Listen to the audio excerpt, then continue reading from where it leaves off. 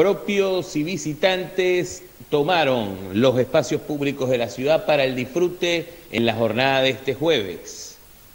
Con temperaturas programadas incluso hasta los 21 grados, toda la colectividad fueguina y los visitantes se apropiaron de plazas, parques y lugares públicos donde poder disfrutar de la jornada. Actividad física, picnic, baile e incluso trotar o correr fue parte de lo que decidieron hacer hoy, no solamente los fueguinos, sino toda la gente que está de visita en la capital de la provincia.